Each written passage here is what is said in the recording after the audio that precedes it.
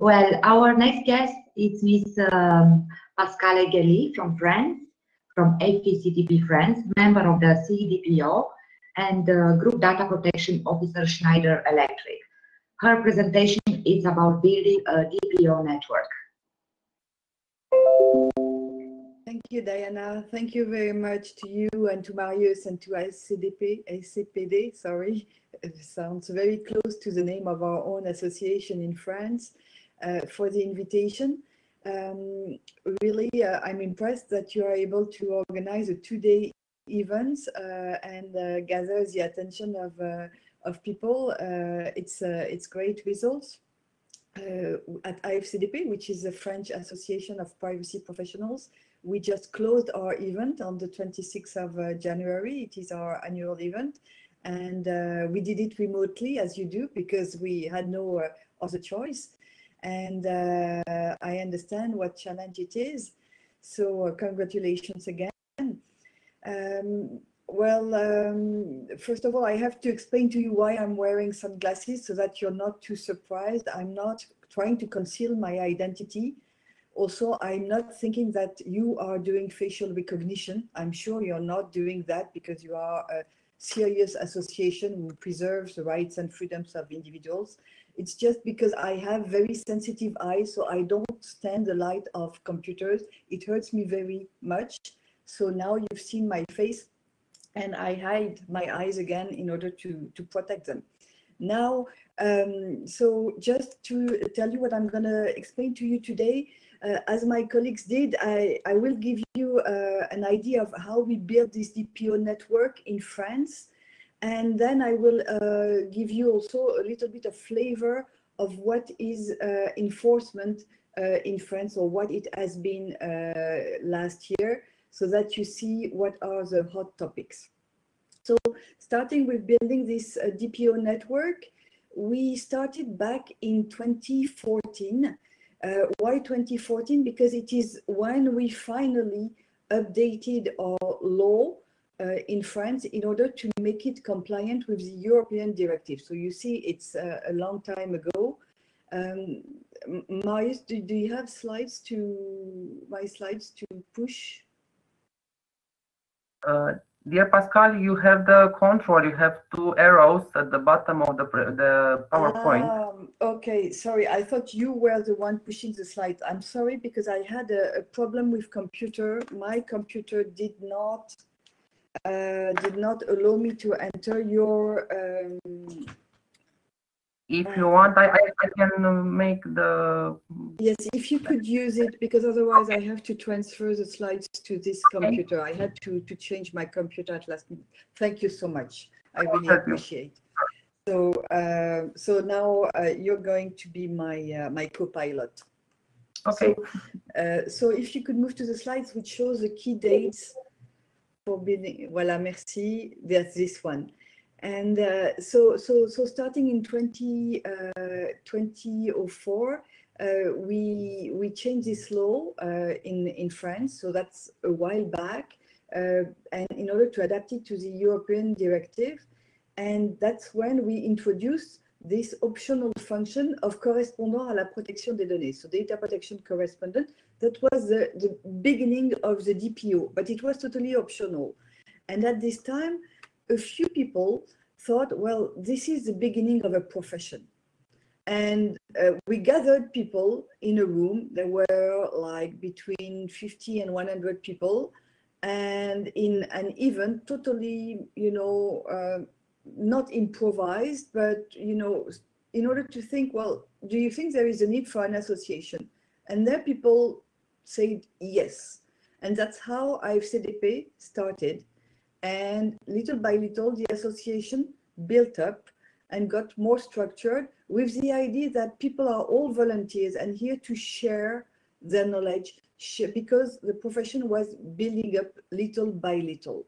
So really, it, the idea is to connect, build on a friendly uh, basis and relationship. So we had this construction little by little, and one of the landmark date was, of course, the creation of CEDPO in CEDPO in 2011, when you know, we saw that there was something cooking at the European level, and we understood that there was a need to promote and defend the role of the DPO in GDPR so that it had the right place in the construction of data protection. So that's how we gathered other associations in order to be present and facing European institutions. So, uh, and, and you've got all these associations with you today, so that's, that's fantastic. Uh, and because everybody is still convinced about, about this role. Uh, so little by little, we've built and uh, made the, the association more robust.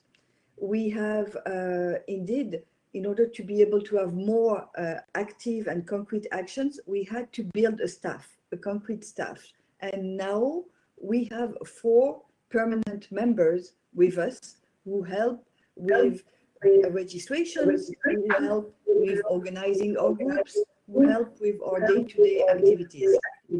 So this has been also since 2014 really uh, an important change in the way we work. We have also, so there is a big echo which I cannot explain. Perhaps, uh, yes, thank you.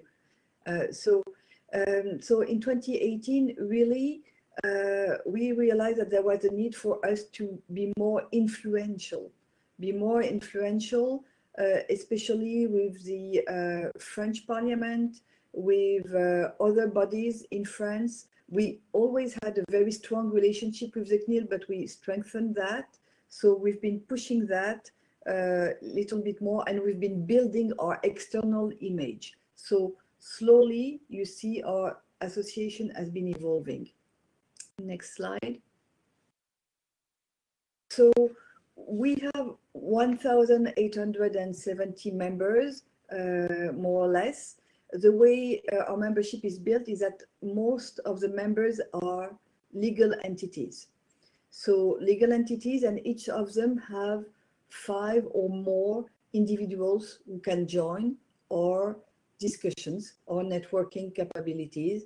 So that makes it about 6,000 people who coordinate on a regular basis and exchange on a regular basis. And as you can see, we have doubled the number of individuals who exchange since 2017.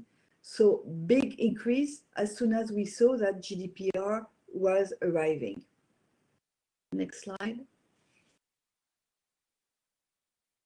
We realized, you know, after a while that uh, like everybody uh, in France that uh, the thing is everything was happening in Paris.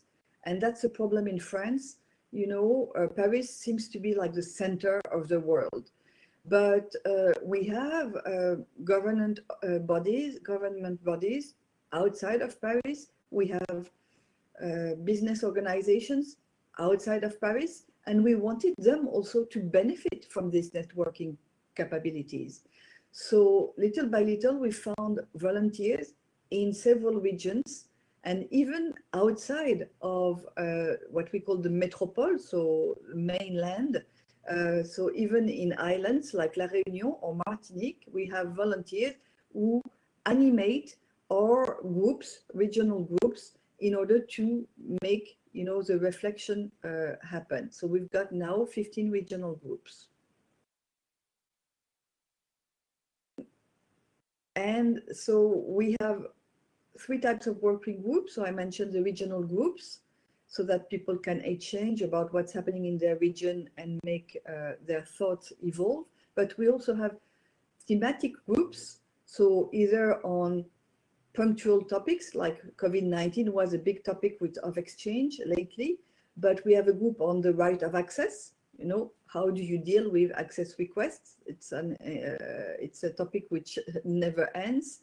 Uh, we have a group of people who wanted to exchange on how to raise awareness internally. A very important group on health data. We have another group on customer relationship management, which has evolved towards addressing the topic of cookies and trackers. Uh, and also we have sectorial groups so sectors of activities like insurance or NGOs or social housing want to meet and discuss about what is happening in their uh, sector of activity. So that's about 70 meetings, you know, among all these working groups, some of them also organizing specific dedicated events. Uh, so 70 meetings which took place in uh, 2019. Of course, it's been a bit impacted in 2020, but we are getting organized uh, in order to uh, do that uh, more remotely uh, with new means now.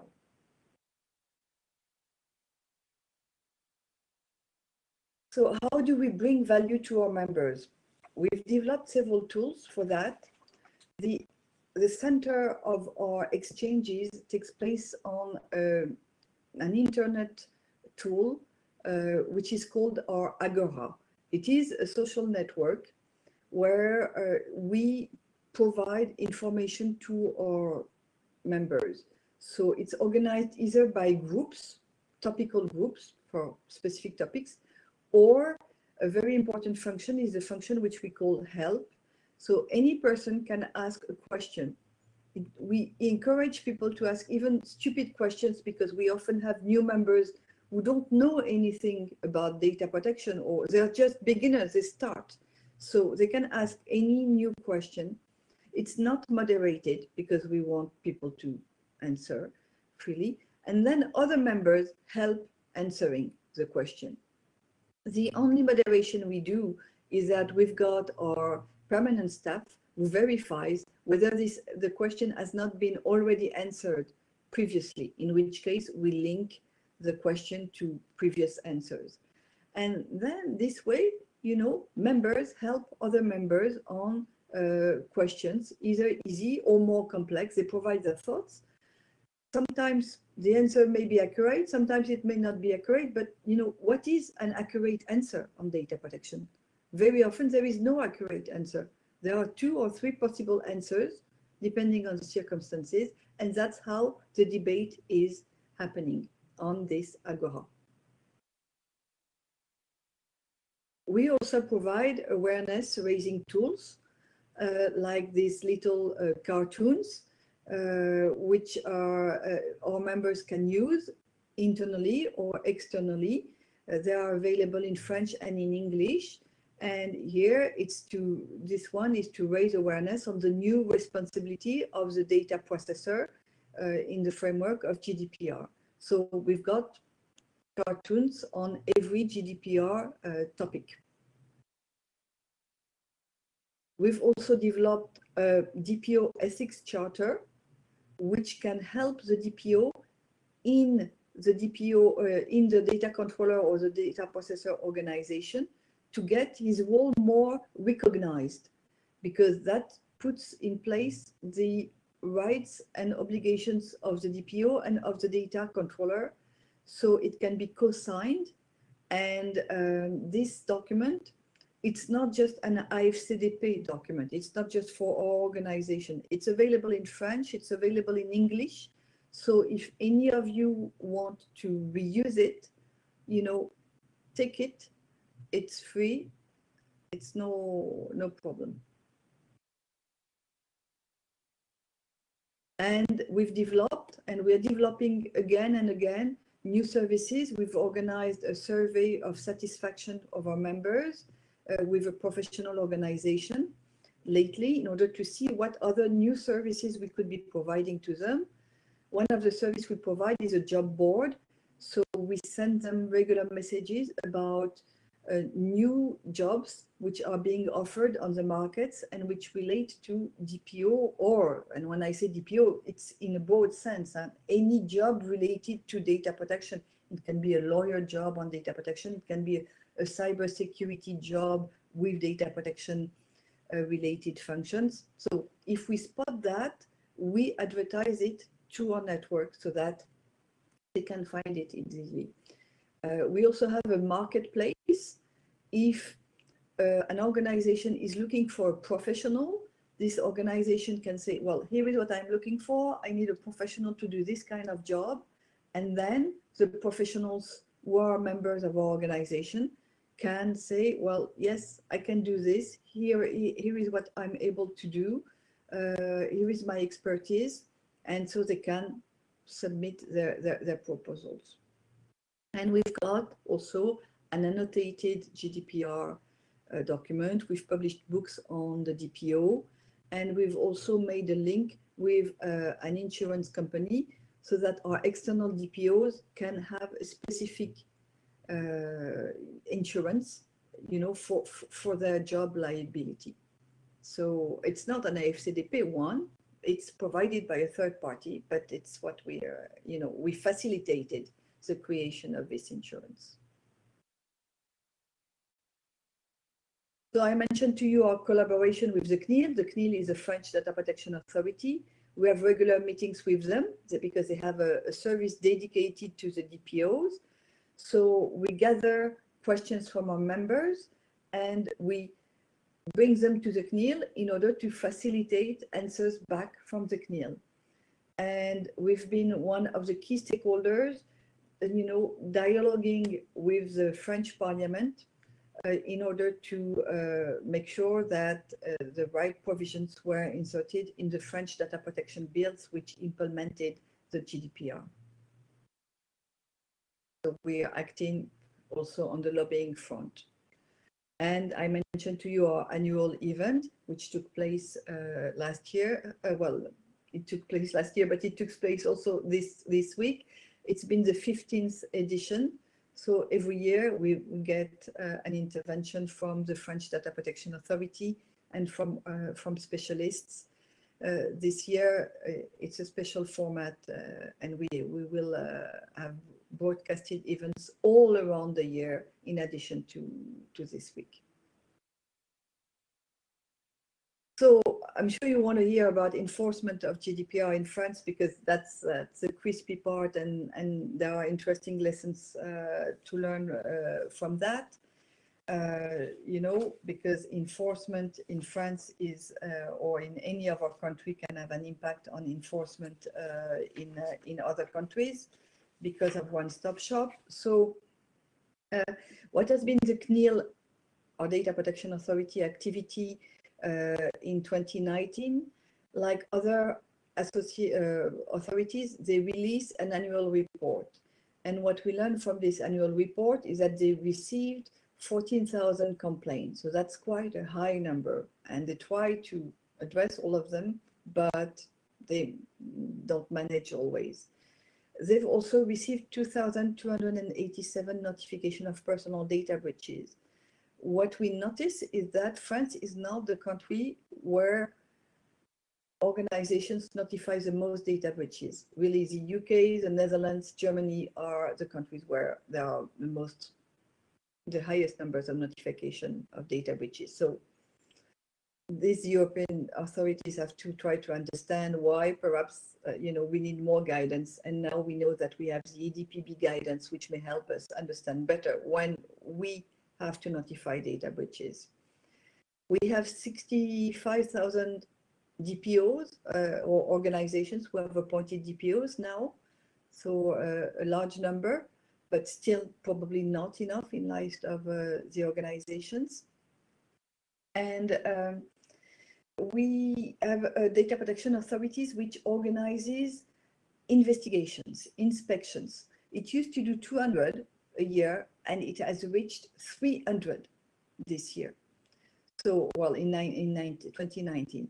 So 300, the way it does it is that either it goes on site or it does it online and more and more online. Remotely is more easy. Or it requires companies, it sends a letter and it requires companies to send back written documentation to demonstrate compliance. So that's the way it works. And in 41% of cases, the inspections are initiated after complaints of individuals. That's why it's very important when you get a complaint to close it directly uh, with the individual quickly uh, before it goes to the data protection authority. Uh, not so many sanctions. Uh, we heard uh, that they want to issue more sanctions uh, next year. Uh, eight sanctions in total, uh, with seven fines altogether, but altogether that uh, amounts to 51 million euros. And they can also issue injunctions, so injunctions to stop uh, to stop uh, infringing uh, the law. So they've released five injunctions, which are subject to financial penalty if you don't comply with the injunction. So that's the landscape, but I would like to describe to you three important enforcement actions which took place uh, last year at the end of the year against Google, Amazon, and Carrefour. Next slide. So first, against Google, two entities of Google have been sanctioned. That's Google Ireland, but also Google uh, LLC, were respectively fined uh, about their uh, approach to, uh, to cookies. Uh, there was sanction because basically when you accessed the google.fr website, the cookies were automatically installed on your computer and without any action from the user. And so lack of consent was a problem. And also there was no information by the search engine users, also of the search engine users. They didn't know what type of cookie would be uh, installed. There was just a, a, prompt of the privacy policy of Google, and uh, and that was it but uh, that was considered as not sufficient uh, information. And in addition, for those who finally understood how to adjust the cookies and to disconnect customized uh, advertising cookies, you know, well, the function didn't really work. It worked for some of the cookies, but still some cookies were finally installed on uh, the device of the user. So there was a partial failure to comply with the right to object. So that explains the sanctions. And the sanctions actually were very high because of the large scale impact of the Google search engine, you know, uh, almost 50 million of users and also the huge amount of profits generated by Google advertising activity. So, and in addition, Google had indicated that they were updating their information banner, but still, uh, after that, the CNIL found that the user didn't really have a clear understanding of the purpose of the cookies, and they were not clearly informed of their right to object. So the modifications done by Google were not considered as sufficient. So that was taken into consideration in, uh, in the decision of sanction. Second very large sanction was against Amazon. So of course you all know Amazon. Uh, and uh, again, it was in relation to cookies. The cookies were also automatically placed on the computers of users without their consent, and the information which was provided to them was insufficient. Insufficient because um, the banner basically stated that by using the website, they automatically accepted the use of cookies. So this banner was not sufficient. It did not allow the users to understand what type of cookies was placed and to, uh, to clearly object. So here again, non-compliance, not with GDPR, huh, let's be clear, uh, but with the e-privacy uh, directive, which is implemented uh, in France in the French data protection law. So that's why the considered it was competent to, to, to address that. And uh, the CNIL took into consideration the fact that this Amazon cooking, cookie practice had taken place for a long time and that the site was really popular, that millions of people were using Amazon. So that's why the, the, the, the fine is a sizable uh, fine. Uh, it's um, Amazon Europe Core SARL, uh, which was fined here. Then a very, very interesting sanction because it covered several violations and we can derive many learnings from it. It's the sanction against the Carrefour Group. Here, it addressed two companies of the Carrefour Group, uh, Carrefour Bank, and so the bank side of the group, and Carrefour France. Uh, so these two companies were respectively fined 2.2 million euros and 800,000 uh, euros for different violations. So I'm not going to detail uh, respectively which ones, but uh, to tell you what was important. Carrefour France was running a loyalty program. And under this loyalty program, they were not with, uh, considered as compliant with the data retention uh, limitation requirements. Why that? Because they were keeping 28 million, the data of 28 million customers who were still inactive. They had been inactive for five to 10 years. So, and they were still maintaining their loyalty program. And here the CNIL state, well, stated, well, you know, if you have inactive customers, you know, you can keep them for three years, no more after the last activity. After that, you have to delete them. So very interesting takeaway here uh, about storage limitation. Then other interesting lessons about individual rights requests. Here, Carrefour France was systematically asking for a copy of an ID when individuals were exercising their rights. And the CNIL said, well, this is excessive. You know, you can ask for an ID only if you have a doubt about the identity of a person. Otherwise, you don't ask. Then the company was keeping the copy of the ID for a period to one to six years. Here the CNIL said, no, you retain the ID for the time necessary to verify the identity of the requester. Once you've checked, you've done the check, you delete. So uh, another important uh, lesson. And there were many complaints, and of course these complaints led to this investigation and this, uh, this sanction, because the companies, they had ignored access requests and also requests from individuals to uh, object to the sending of text messages and the sending of email marketing messages. So that explains the sanction. Then another uh, reason for the sanction is uh, in relation to transparency. That's um, and that's where it's getting tricky. It's going to get tricky for us as professionals, but it's something which the CNIL has been repeating a lot. It reviewed the notice provided by Carrefour and it said, no.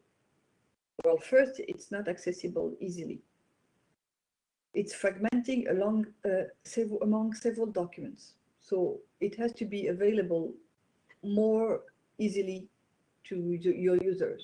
They should not go one document to one document, one document. Then the content is not clear. It's vague, it's broad.